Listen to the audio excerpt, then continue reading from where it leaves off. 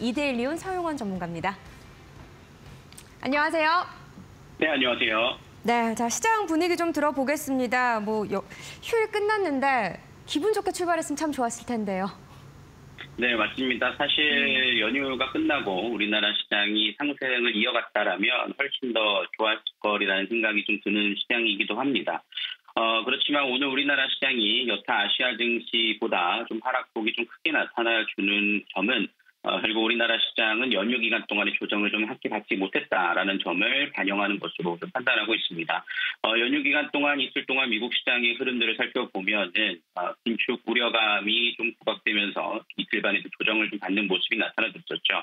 사실 지난주에 말씀드렸듯이 IMM 제조업 지표가 상당히 중요하다라고 말씀을 드렸는데 어, 제조업 지표는 어, 좋게 나와줬습니다. 그럼에도 불구하고 이제 양적 긴축이 시작되는 시점이 되다 보니까 반등했다가 살짝 흔들리는 모습이었는데 그 점을 반영하지 못했기 때문에 오늘 우리나라 시장은 어, 이틀 동안의 시장의 흐름을 어, 오늘 하루에 반영을 하고 있다라고 좀 보실 수가 있겠습니다.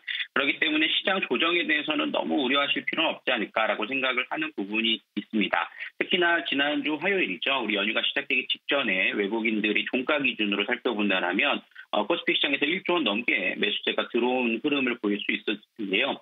어, 그 특히나 프로그램 매매에서의 비차익 거래의 매수세였습니다. 어, 비차익 거래라고 하면 선물과 합성이 이루어지지 않은 어, 순수한 어, 매수세가 유입됐다라는 점을 감안해 본다라면 어, 외국인들은 그래도 매수세가 들어왔고 거기에 따른 어, 환율이 안정세를 보였기 때문에 이는 분명히 좀 큰 이유는 있을 것이다라고 좀 판단을 하고 있습니다.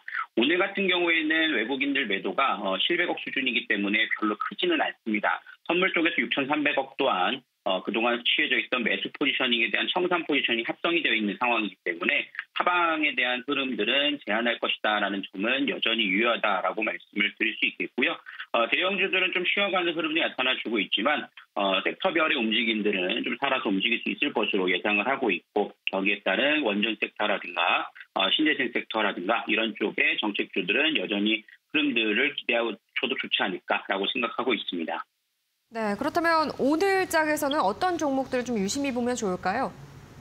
네, 제가 이, 이 방송을 통해서도 좀 소개를 해드렸던 종목이기도 한데요. 어, 대한전선이라는 종목을 한번 좀 관심 있게 살펴보시면 좋을 것 예. 같습니다.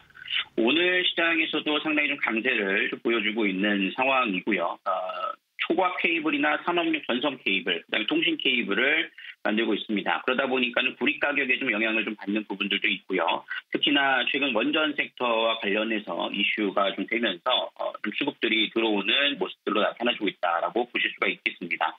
제가 대한전선을 특히나 기대하고 있는 부분들은 어, 정부 정책적인 수혜주로서도 좀 기대해 볼 수 있는 부분이 되겠지만 어, 지난 4월 5일부터 어, 현재까지 또 어, 지속적으로 어, 연기금이 단 하루도 빠지지 않고 매수세가 이어지고 있다라는 점을 긍정적으로 살펴보실 수 있을 것 같습니다. 어, 그 연기금의 매수세의 매도 포지셔닝은 외국인이 매도를 했었습니다만 화요일부터는 외국인들도 매수세로 전환됐다라는 점에서 추가적인 상승에 대한 기대감들을 충분히 좀 갖고 좀 살펴보실 수 있을 것으로 예상이 되기 때문에요. 현재 가격에서 조정권자를 이용한 공략도 좋지 않을까라고 생각을 하고 있습니다. 네, 대한전선 같은 경우는 뭐 지난 한 3월 말부터 계속해서 좀 올라가는 모습들이 나타나고 있고 지난 5월 31일에는 외국인들 정말 많이 들어와 준 그런 상황들인데 수급력도 같이 체크하시면서 긍정적인 분석을 좀 해주셨습니다. 오늘 한 3.1%대 상승력 나타내고 있네요. 2,300원 유심히 좀 지켜보시길 바라겠습니다. 오늘 말씀 여기까지 듣겠습니다. 고맙습니다. 네, 감사합니다.